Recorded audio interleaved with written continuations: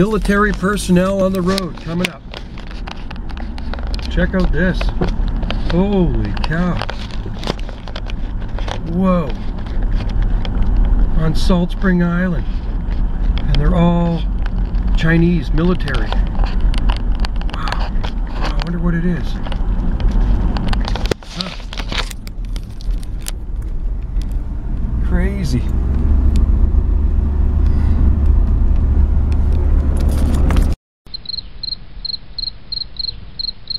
Hi everyone, I'm Mary with Mary Greeley News. Thank you for joining me. I got a message from one of my longtime followers about an article that was on um, halturnerradio.com about Chinese troops in uh, Quebec, Canada. And the U.S. is moving a self-propelled howitzer, um, I guess these are the tanks here, to um, an area there in Maine and then who knows where they're going from there, which got me to looking for more information about these Chinese troops in Canada.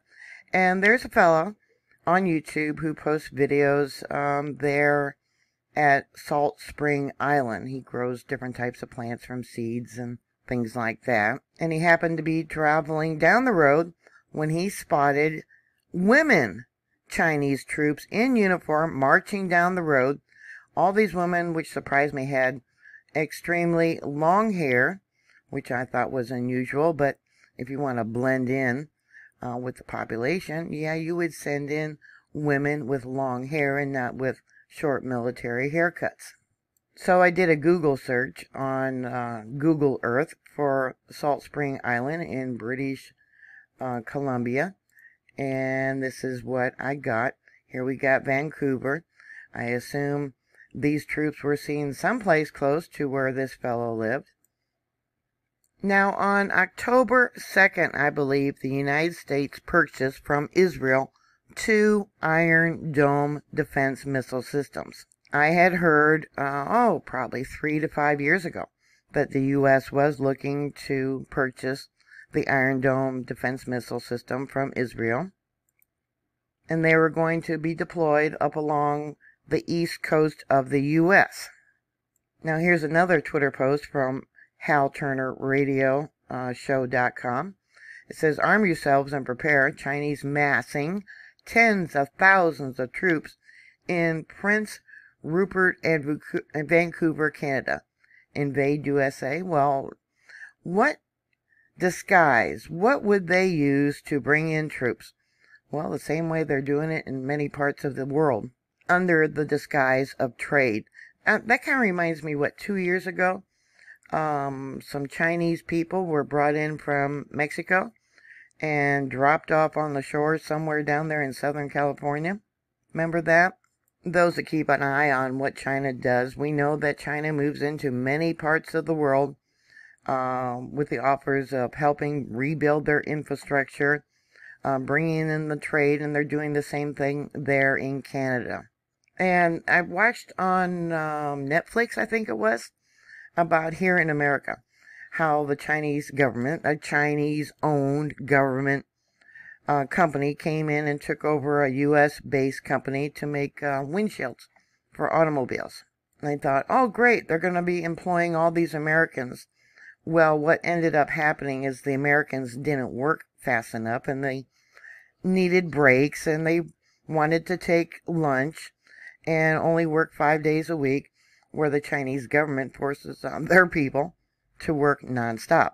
So, using the excuse that production was down, they ended up firing the American workers and brought in more Chinese from China. Canada has not signed an agreement for their um, road. I forget what it's called. I'll, I'll, get that in a minute. Has not signed an agreement um, to to do trade and be part of this plan that China has to uh, um, build all these structures, all these businesses, and all this trade around the world. Canada has not signed an agreement to be part of that. But yet they are building in Canada just as if they have this Belt and Road Facility Agreement in uh, British Columbia. And there's a really good video um, by rebel news about how China is moving into Canada, taking over infrastructures, etc., there in British Columbia. And over the years, their um, Prime Minister Trudeau has been really chummy with China, turning a blind eye for all these Chinese people. How many are sleeper cells that are coming to Canada? Now, I'll give you a link also showing these Chinese soldiers. Women, looks like they're all women to me. I'll give you a link that this guy just happened to come across as they're marching down this rural road there in BC, Canada. There's what, 75, maybe 100 of these people marching? Foreign troops openly marching down the roads there in British Columbia. Now, according to Hal Turner radio show, it says here Chinese troops are mustering elsewhere near the U.S. border with Canada, this time along with the Quebec and New Brunswick province borders with Maine. The United States is now moving trainloads of heavy armored to that exact area. Looks like the fight is coming right here to the U.S. Yeah, which reminds me of the vision that um, God gave me many years ago, probably oh, 35, maybe longer, 35 years ago. Um, in the vision, I was standing on the beach down in Pacifica, California, um, looking towards Mount Diablo, and suddenly there was this bright flash of light, white, bright white flash of light, and the ocean started boiling.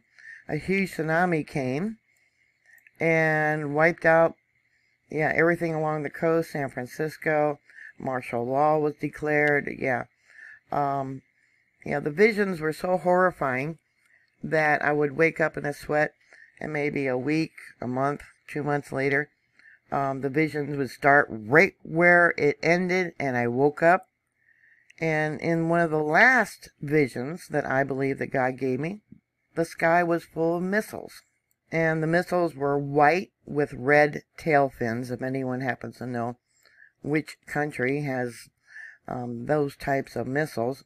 A white body with red tail fins. Yeah, and then there's martial law and famine and yeah, cities across the United States, Great Plains are burning. And I remember that um, I didn't know what a time what time it was going to happen. I just knew that it was like an Indian summer that we used to call um, the end of the year there in uh, California. So I've, I've always been on watch um, for that to happen, for it to begin, when there was a season like an Indian summer that they called it. And that would be before um, the rains would start there in California. Anyways, what do you think about all these rumors of these Chinese troops there in Canada? We've heard about them in Mexico, like I said. Are they in fact planning for an invasion? Well, time will tell. All we can do is be prepared. Thank you for watching. Please stay safe, and I'll talk to you later. God bless you. Bye.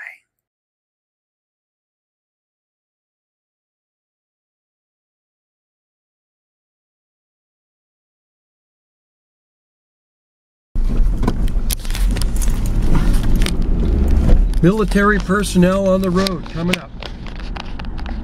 Check out this. Holy cow.